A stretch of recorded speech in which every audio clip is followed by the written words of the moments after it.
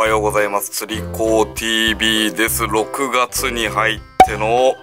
新製品ラッシュ。正直お財布にかなりのダメージを与えておりますが最後の1個もちゃんと買ってきておりますよ。これ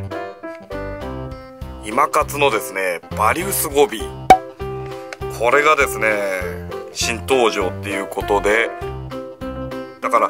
えー、今月はベビーバスロイドベビーステルススイマーとジャバギル110でバリウスゴビ。これが一挙に4種類も新登場したんですよね。でえー、まあ入荷日だったっていうこともあって全部並んでおりまして。えー、これですね。買っちゃったんですよね。バリウスゴビーうーん琵琶湖攻略に特化したワームっていうことでなかなかどうしようかなって。サイズも5インチっていうことなんであんまり普段自分の使うサイズじゃないよなと思いつつも気がついたらカゴの中に入れておったというわけなんですけども、えー、早速開けていきたいと思います。で価格がですね850円ということでございます。で、えー、5インチでただですね色はですね自分はあの関東霞ヶ浦方面とか よく釣り行きますんで霞ゴリ。あ霞ゴリって名前ついてるからまあ釣れるんじゃないかななんていう 適当にこう選んでみたい色結構選べたんですけどね霞ゴリっていう色を選んでみました。じゃあ早速ですね開封していきたいと思います。感じで。さあさあさあさあ。まずは匂い。嗅いでみますかね。そんなになんか激しい草っていう匂いは、えー、ないですね。であ中でこうブリスターパックで綺麗にこんな感じで入っております。でこれを開けるとはい。バリウスゴビな感じのワームなんですけど。いや結構この手のですねお尻ピラピラ動くワームって、えー、大好きなんですよね。そんで、ま結構泳がしてみるとそんな大きく感じないかなと思って。ただ自分の好きな釣り場で使うんだとまあ5インチっていうより4インチとか、えー、3.5インチとかが多いんでちょっとですね5インチっていうと自分の使う中では、まあ、大きめな方になるのかなでこんな感じでまず頭が2個あってでこんな感じのボディリングワームっていう感じでいいんですかね。こういう感じで空気をはらみそうなひだひだがあってで一番の肝がこのテールになるかと思うんですけどもあー、張りがあるですね。こう、基礎のところの外に、こう、限りなく薄く、ひだひだがこう、ついていて、この、ここがすごい薄いんですよね。これがバリウスっていうことだと思うんですけども、こんな感じのテールがついていて、まあ、全長にするとこんなビローンって長くなりますけどね。まあただこんな感じのカーリーテールというかですね。結構一昔前よくあった形ですけどズームとかでこの手の形の大好きでよく使ってたんですけども最近はあんまり買わなくなったなーなんていうこういった形でございます。でこの袋の方にはですね特に説明書きとか書いてないんですけどもホームページの方に結構事細かにですねこれのできたいきさつとかが書いてあってそれが、え、読んでると面白くてなんか買ってみたいなと思いましたんで早速ちょっと見ていきたいと思います。今活のねホームページに書いてあるんですけどねえー、じゃあ上から「バリの出たワームが釣れる」琵琶湖都市伝説から誕生した成功バリウスカーリーテール。都市伝説から生まれたワームっていうことなんですね。競技仕様型バリウスカーリーテール系。古の琵琶湖都市伝説。バリの出たワームが釣れる。当時のアメリカ製ワームの金型精度の悪さゆえシーム部に偶然発生した薄い皮膜のようなバリ。琵琶湖トーナメント全盛期1パックずつ検品して剥がしまくったという都市伝説。しかしその都市伝説には確かな実績の裏付けがありました。バリのような極薄さゆえ出せたアイミナエッジの生命感と水上性能。その生命感を現代の精密成形技術でロングカーリーテールに再現。琵琶湖での2年近くに及び実践テストによりアンクルボディの釣れる実績のリングリブ形状に残像を残すようにすら見える。高速バイブレーション。わずかな水流を捉え動き続けるオフセット式超極薄エッジの U テールを装着。琵琶湖アングラーの琵琶湖のために作られた究極の食わせ系それがバリウスコビーですということでこの整形の時にこうまあなんかそういえば言われてみれば昔あったなーなんて思いますけどね。なんかちょっとピヨンとこう薄い皮膜がはみ出たようなワームそれをあえて再現した。それがすごい釣れる伝説があったってそんな伝説があったんですね。うーん。さすがトッププロの人たちはそういった細かな差を、えー、見逃していなかったんですね。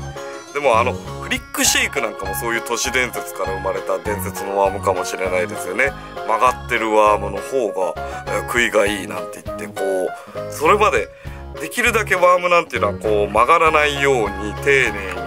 保管してもしくは癖のついたワームとかは茹でてちゃんとまっすぐにして使うっていうのが一般的だった時代にあえて曲がってるからあんなに釣れるってもうフリックシェイクも今定番中の定番になりましたけどね。そういった伝説のうんまあこ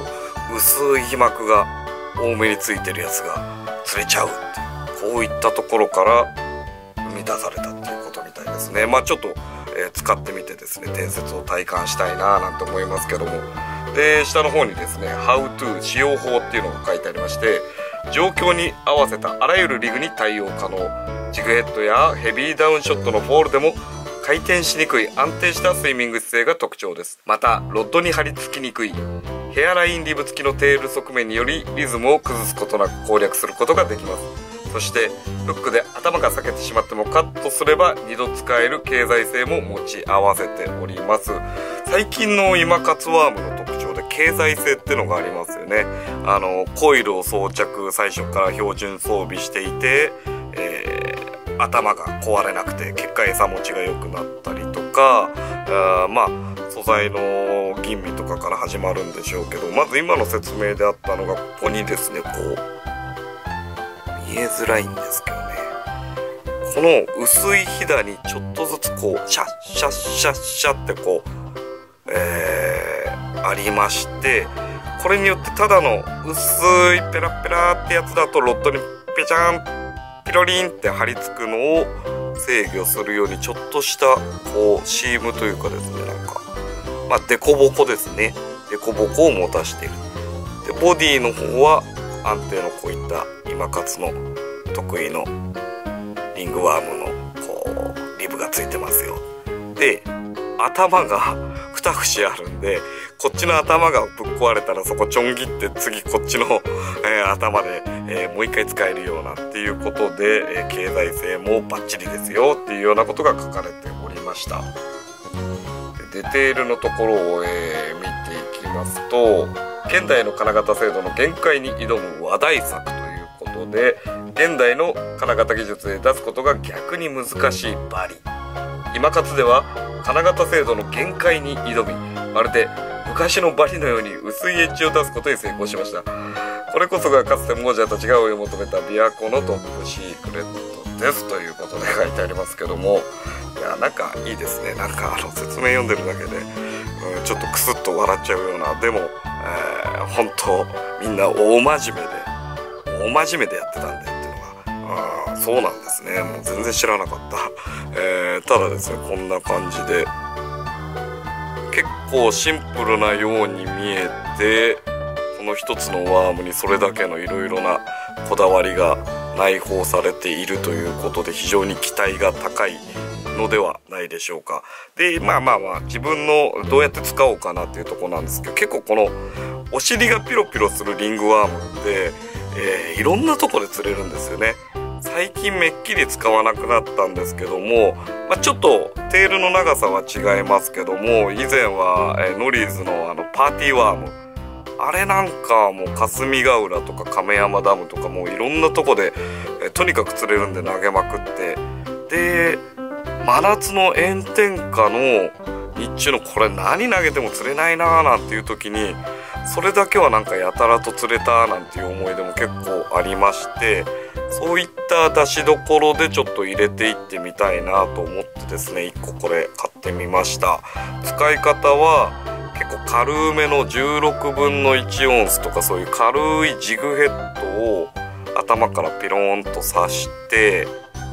でスピニングタックルでただ巻き